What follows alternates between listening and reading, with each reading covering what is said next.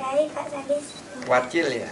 Wartawan Wartawan. Wartawan cilik. Harapan kita eh, pendidikan ke depan akan membawa pendidikan yang tuntas dan berkualitas khususnya untuk eh, masyarakat eh, menengah-menengah bawah. Jadi mudah-mudahan generasi ke depan berakhlakul karimah.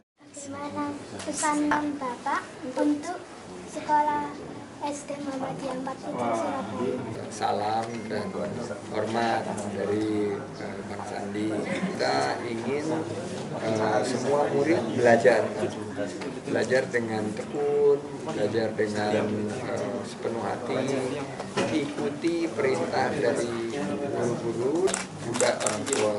Ya, mari menggunakan kesempatan kita kecil ini untuk terus belajar yang rajin ya.